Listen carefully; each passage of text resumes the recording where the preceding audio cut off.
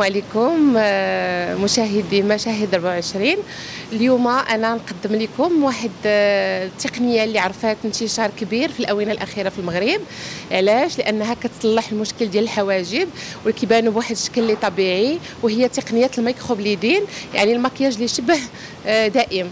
وهذه التقنية آه، كتعطينا واحد الشكل اللي كيكون طبيعي وجميل للسيده وما كتحتاج تبان كل يوم خاصها دير واحد الرسم بطريقة القلم أو بال la poudre. يعني هذه الطريقة كتسهل عليها. كيف كنعرفوا دابا بحكم حنا الأونة الأخيرة كنعيشوا في واحد الفترة اللي كلشي سريع فيها. donc أننا ملي تنخدموا ال microblading أو كنديروا شادا والحجب ديالنا كيبان بشكل مختلف وكتبان سيدة جميلة وطبيعية. تواجد في هذه الدورة التدريبية التكوينية لخبراء التجميل بالمغرب. يعني الموسم الثاني عندهم international beauty ورسكوب آه، مع مسيو خلاد مهدي. هو المشرف على هذه الدورة التدريبية. وأنا قديمة معاهم وفي ما كتكون شي formation كنبغيو نزيدو نزيدو les nouveautés في le domaine ديالنا. وهذه التقنية اللي كنتعلموا من خبراء عالميين آه، كيف كتشوفوا معنا إن شاء الله غنتواكبوا معنا الاحداث الأحداث كاملة. ومن هذا المنبر كنبغي نوجه شكر خاص للمسيو خلاد والطاقم الساهر على هاد هاد الدورة التكوينية والتدريبية اللي كنستافدوا منها صراحة. أنا كنت معاهم من قبل والحمد لله العمل ديالي كيلقى إقبال ونجاح. وهذا الشيء مهم بزاف بالنسبة إحنا الناس النساء المغربيات باش نكونوا حنا مواكبين الحدث. وفهد المكياج شبه دائم. كان آه، تقنيات ال microblading وال eye-liner وال glaçage ديال les lèvres واليوم كنهضروا على الشعر الحواجب اللي هو اللي كنلقاو عليه إقبال أكثر لأنه كيعالج بزاف المشاكل.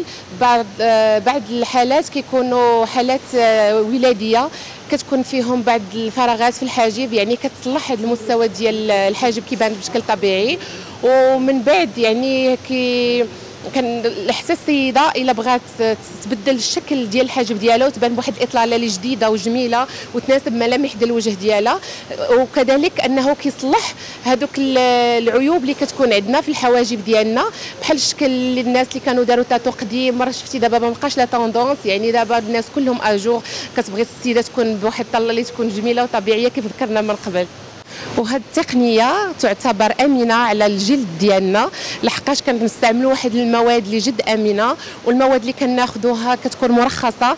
كيف ذكرت من قبل حنا واحد ال groupe دابا في المغرب يعني تحت إشراف زين فورمونس كنعتمدوا على واحد المواد اللي هي آمنة وجديدة وجد متطورة.